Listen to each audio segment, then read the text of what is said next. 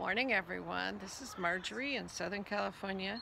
The clouds you see behind me um, are smoke.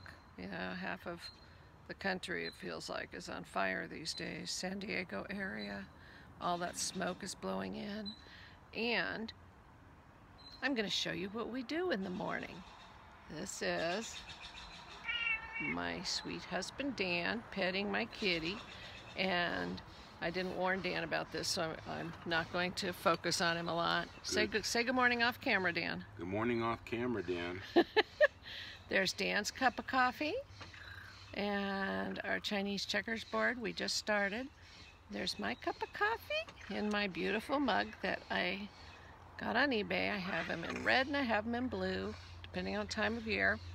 Anyway, and my kitty is shaking everything around. So anyway, just a quick little thing to show you that we play Chinese checkers every morning out on our deck. And Dan wins two-thirds of the time. Um, but the other third of the time when I win, he's a terrible, terrible sport. He hates to lose. He's so competitive. It's amazing we've stayed married 30 years because I could care less. To me, it's the strategy and trying to win, but to him it's all about winning. It's not how you play the game. Of course it's, it's about winning.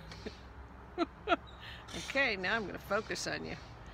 Okay, well no, I won't because I promised I wouldn't.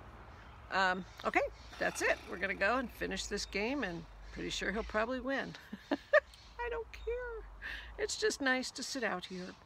Um, this is the only sport I do. Okay, so if you're new here, please subscribe and happy Vlogust Day.